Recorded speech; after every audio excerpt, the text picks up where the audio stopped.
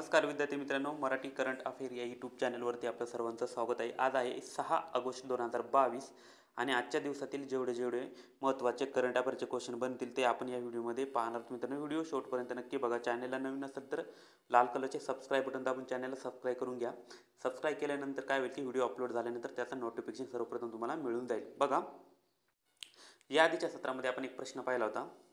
Commonwealth games दोन हजार बावीसमध्ये भारतातील कोणत्या भागातील खेळाडू क्रीडा प्रकारात चमकत आहेत. तर या प्रश्नाचं योग्य उत्तर होतं ऑप्शन क्रमांक ब म्हणजे दोन. ईशान्य भागातील खेळाडू चमकत आहे. लक्षात ठेवा महत्त्वाचा प्रश्न आहे. एक्झामला तुम्हाला प्रश्न विचारला जाऊ शकतो. बघा आजच्या सत्रातील पहिला प्रश्न पाहूया. खालीलपैकी कोणत्या दोन देशांना नाटोचा सदस्यत्व देण्यासाठी अमेरिकेने मान्यता दिली आहे? काय विचारलाय प्रश्न बघा. खालीलपैकी कोणत्या दोन देशांना नाटोचा सदस्यत्व देण्यासाठी अमेरिकेने मान्यता दिली आहे? तर या प्रश्नाचं योग्य उत्तर आहे. ऑप्शन क्रमांक एक फिनलँड अँड स्वीडन. या दोन देशांना नाटोचा सदस्यत्व देण्यासाठी अमेरिकेने मान्यता दिलेली आहे. लक्ष ठेवा न्यू न्यूज डिटेलमध्ये बघूया. स्वीडन आणि फिनलंडला नाटोचा सदस्यत्व द्यायला अमेरिकेची मान्यता. फिनलंड आणि स्वीडनला नाटोचा सदस्यत्व देण्याला अमेरिकन सिनेटने मान्यता दिली आहे. पंच्याण्णव सिनेट सदस्यांनी प्रस्तावाच्या बाजूने मतदान केल्यामुळे दोन तृतीयांश बहुमताची आवश्यकता मर्यादा सहज पार झाली. या ऐतिहासिक ठरावामुळे नाटो करारप्रती अमेरिकेची वचनबद्धता पुन्हा एकदा अधोरेखित झाली असल्याचं अध्यक्ष जो बायडन यांनी या निवेदनात म्हटले आहे. त्यानंतर बघा भविष्यात कोणत्याही आव्हानाला सामोरे जाण्याची नाटोची तयारी असल्याचं त्यांनी म्हटले. उत्तर युरोपातले हे दोन दोन देश दीर्घकाळापर्यंत आंतरराष्ट्रीय राजकारणात तटस्थ होते. मात्र युक्रेनच्या रशिया संघर्षाच्या पार्श्वभूमीवर ते नाटो सामील होत आहेत. त्यानंतर बघा यापूर्वी फ्रान्स देखील स्वीडन आणि फिनलंडला नाटो सदस्य द्यायला मान्यता दिली आहेत. त्यानंतरचा प्रश्न बघा. राजस्थान सरकारने गर्भवती महिलांसाठी कोणती विशेष अभियान सुरू केले आहेत प्रश्न काय विचारलाय बघा राजस्थान सरकारने गर्भवती महिलांसाठी कोणते विशेष अभियान सुरू केले? तर या प्रश्नाचं योग्य उत्तर आहे ऑप्शन क्रमांक एक आचल अभियान. हे राजस्थान सरकारने गर्भवती महिलांसाठी सुरू केलेले आहे. ठेवा महत्त्वाचा प्रश्न आहेत. आता याबद्दल माहिती पाहूया बघा. राजस्थानचे आचल विशेष आरोग्य सेवा अभियान राजस्थानमध्ये गर्भवती महिलांसाठी आचल हे विशेष आरोग्य सेवा अभियान सुरू करण्यात आले. गर्भवती महिलांना प्रस्तुतीपूर्व प्रस्तुतीनंतरच्या टप्प्यावर सर्व आवश्यक वैद्यकीय मदत सुनिश्चित करण्यासाठी करण्यात आली जेणेकरून माता आणि बालमृत्यूचे प्रमाण कमी राखता येईल. त्यानंतरचा प्रश्न बघा.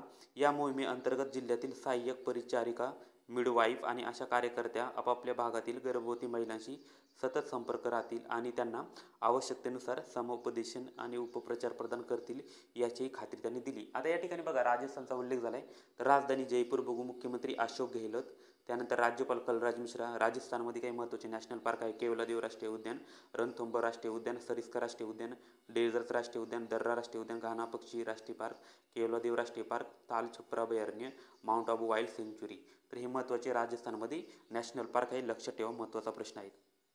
त्यानंतरचा प्रश्न बघा. खालीलपैकी कोणाची केंद्रीय दक्षता आयुक्त म्हणून नियुक्ती करण्यात आली? तर या प्रश्नाचं योग्य उत्तर आहे. ऑप्शन क्रमांक एक सुरेश पटेल यांची केंद्रीय दक्षता आयोग म्हणून नियुक्त करण्यात आलेली आहेत. बघा सुरेश पटेल यांची केंद्रीय दक्षता आयुक्त म्हणून नियुक्ती करण्यात आली आहे. दक्षता आयुक्त सुरेश पटेल यांची केंद्रीय दक्षता आयुक्त म्हणून नियुक्त करण्यात आली आहेत यावर्षी जूनपासून ते केंद्रीय दक्षता आयुक्त सी व्ही सी म्हणून कार्य करत आहेत. त्यानंतर बघा राष्ट्रपती भवनात राष्ट्रपती द्रौपदी मुर्मू यांनी त्यांना केंद्रीय दक्षता आयोगाची प्रमुख शपथ दिली. या समारंभाला पंतप्रधान नरेंद्र मोदी उपराष्ट्रपती व्यंकय्या नायडू यांची उपस्थिती होती.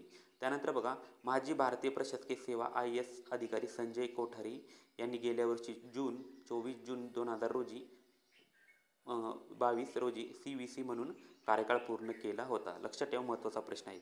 त्यानंतरचा चौथा प्रश्न बघा. खालीलपैकी कोणाची पी एम ओच्या संचालकपदी म्हणून नियुक्ती करण्यात आलेली आहे? प्रश्न काय विचारलाय बघा. खालीलपैकी कोणाची पी एम ओच्या संचालकपदी नियुक्ती करण्यात आली? तर मित्रांनो या प्रश्नाचं योग्य उत्तर आहे. ऑप्शन क्रमांक दोन श्वेता सिंग यांची पी एम ओच्या संचालकपदी नियुक्ती करण्यात आलेली आहे. इमेजमध्ये तुम्ही पाहू शकता. बघा आय एफ एस अधिकारी श्वेता सिंग यांची पी एम ओच्या संचालकपदी नियुक्ती. कार्मिक मंत्रालयाच्या मते दोन हजार आठच्या बॅच च्या भारतीय परराष्ट्रीय सेवा आय एफ एस अधिकारी श्वेता सिंग यांची पंतप्रधान कार्यालयात पी एम ओ संचालक म्हणून नियुक्ती करण्यात आली आहे. मंत्रिमंडळाच्या नियुक्ती समितीने ए सी सी सिंह च्या नियुक्ती तारखेपासून तीन वर्षाच्या कालावधीसाठी त्यांची नियुक्तीला मान्यता दिलेली आहे. मित्रांनो यांचा कालावधी तीन वर्षासाठी असं नाही लक्षात ठेवा. महत्त्वाचा प्रश्न आहे. एक्झामला अशा प्रकारचे प्रश्न विचारले जातात. त्यानंतरचा महत्त्वाचा प्रश्न बघा. लीडिंग वेल ती वुमन अहवाल दोन हजार एकवीसनुसार भारतातील सर्वात श्रीमंत महिला कोण?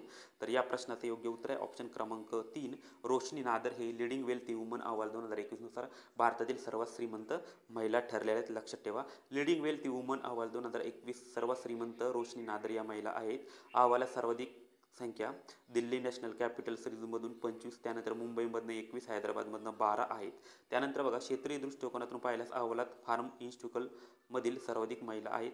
रोशनी नादर या सलग दुसऱ्या वर्षी भारतातील सर्वात श्रीमंत महिला ठरल्या. दोन हजार एकवीसमध्ये त्यांची संपत्ती चौपट टक्के वाढून ती चौऱ्याऐंशी चौऱ्याऐंशी पॉईंट तीनशे तीस कोटी रुपये झालेली आहेत लक्षात ठेवा महत्त्वाचा प्रश्न आहे.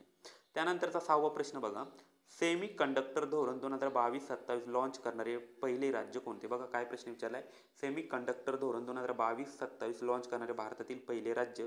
तर या प्रश्नाचं योग्य उत्तर आहे. ऑप्शन क्रमांक तीन गुजरात हे सेमी कंडक्टर धोरण मंजूर करणारे राज्य आहेत किंवा लॉन्च करणारे राज्य आहे? लक्ष ठेवा महत्त्वाचा प्रश्न आहे. बघा सेमी कंडक्टर धोरण दोन हजार बावीस सत्तावीस लॉन्च करणारे भारतातील पहिले राज्य गुजरात.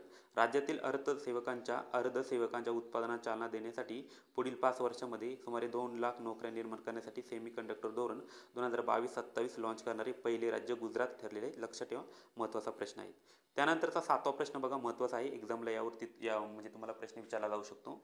भारतामध्ये आता एकूण किती राम साईट म्हणून घोषित करण्यात आलेला आहे? तर या प्रश्नाचं योग्य उत्तर आहे. ऑप्शन क्रमांक एक चौसष्ट झालेले मित्रांनो. याआधी चोपन्न होत्या. आणि त्याआधी मित्रांनो एकोणपन्नास होत्या नंतर पाच झाल्या चोपन्न झाले त्यानंतर दहा वाढून आता चौसष्ट संख्या झालेली आहे भारतामधील रामसर साईटच्या संख्या चौसष्ट झालेली आहे लक्षात ठेवा. आता पाय माहिती पाहूया याबद्दल. रामसर यादीमध्ये भारतातील दहा रामसर स्थळांचा समावेश. भारतामध्ये एकूण चौसष्ट साईट बनवण्यासाठी रामसर साईट म्हणून नियुक्त केलेल्या आणखी दहा पाणथळ जागा जोडल्या आहेत. रामसर साळाच्या यादीत आणखीन दहा पाणथळ जागाच्या समावेशामुळे भारतातील एकूण रामसळ संख्या चौसष्ट वर. त्यानंतर बघा रामसळ स्थळ म्हणून घोषित नवीन दहा पाणथळ जागा पुढील प्रमाणे. तर बघा कोणत्या कोणत्या त्या दहा जागा ते पाहूया आपण. पहिली बघा कुंतनकुलम पक्षी अभयारण्य तामिळनाडू सतकोसिया घाट ओडिशा नंदा तलाव Goa Mannar marine biosphere reserve आखात Tamil Nadu Ranganathittu B S Karnataka Bennur wetland क कॉम्प्लेक्स तामिळनाडू. त्यानंतर बघा वेल्लोड पक्षी अभयारण्य तामिळनाडू. त्यानंतर सिरपूर वेटलँड मध्य प्रदेश वेतंगल पक्षी अभयारण्य तामिळनाडू. त्यानंतर उदय मार्तंडपुरम पक्षी अभयारण्य तामिळनाडू. हे महत्त्वाचे दहा ॲड झालेले आणि आता टोटल चौसष्ट झालेले. लक्षात ठेवा एकदमच्या दृष्टीने महत्त्वाचा प्रश्न आहे. त्यानंतरचा प्रश्न बघा भारतीय रेल्वेने कोणत्या वर्षी सॉरी भारतीय रेल्वे कोणत्या वर्षापर्यंत कार्बन उत्सर्जन शून्यावर आणण्याचे लक्ष ठेवलेले आहेत?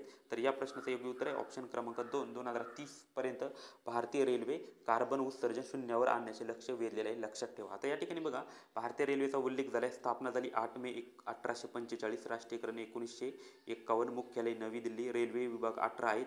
रेल्वेमंत्री अश्विनी अश्विनी वैष्णव आहेत. लक्षात ठेवा सध्या रेल्वेमंत्री अश्विनी वैष्णव आहेत. त्यानंतरचा नववा प्रश्न बघा. खालीलपैकी कोणी राष्ट्रीय कुल क्रीडा स्पर्धेत उंच उडी या क्रीडा प्रकारात कांस्य पदक जिंकले? तर या प्रश्नाचं योग्य उत्तर आहे. ऑप्शन क्रमांक तीन तेजस्विनी शंकर यांनी राष्ट्रीय कुल क्रीडा उंच उडीमध्ये कांस्य पदक जिंकलेलं आहे. लक्षात ठेवा इमेजमध्ये तुम्ही पाहू शकता. आणि शेवटचा प्रश्न मित्रांनो हा तुमच्यासाठी आहे. या प्रश्नाचं उत्तर तुम्ही कमेंट बॉक्समध्ये सांगायचं. आणि उत्तर चुकलं तरी काही हरकत नाही. उत्तर चुकल्यानंतर प्रश्न दीर्घकाळा लक्षात राहतो. प्रश्न काय आहे बघा भारतात सध्या एकूण किती विवेक एक्सप्रेस रेल्वे गाड्या मार्ग कार्यरत आहेत? तर या प्रश्नाचं उत्तर मला तुम्ही कमेंट बॉक्समध्ये सांगायचं तर बघा मित्रांनो अशा प्रकारचे सहा आगोटचे महत्त्वाचे करंट अफेअरचे क्वेश्चन होते. व्हिडिओ आवडला असेल तर व्हिडिओला लाईक करा शेअर करा कमेंट करा. चॅनलला नवीन असेल तर लाल कलरचे सबस्क्राईब बटन दाबून बेल आयकॉनवरती क्लिक करून चॅनलला सबस्क्राईब करून घ्या. जय हिंद जय महाराष्ट्र. विद्यार्थी मित्रांनो.